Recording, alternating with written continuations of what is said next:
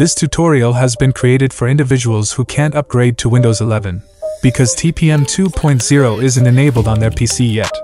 Or their PC can run TPM 2.0 but isn't configured to do so. In this video, let's check how to enable TPM 2.0 in Windows 10 PC.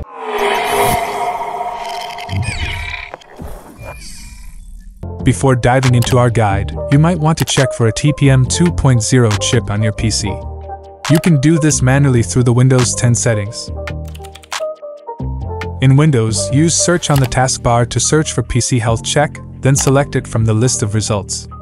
The PC Health Check app brings you up to date information on your Windows device health, improving your device performance, and troubleshooting performance problems.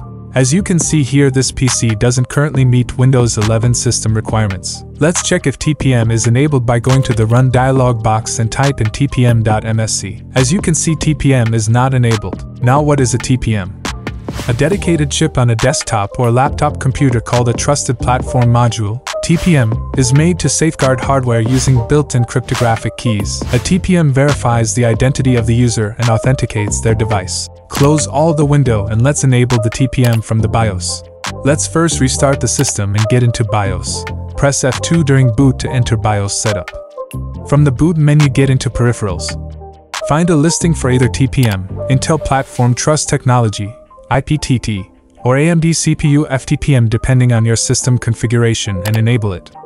Finally, hit F10 to save and exit BIOS or move manually and save and exit. After following all of the instructions above, TPM 2.0 should be enabled in your system. Once your system turns on, go to Windows Settings and Update and Security. Click on Check for updates to see if Windows 11 Update is available else.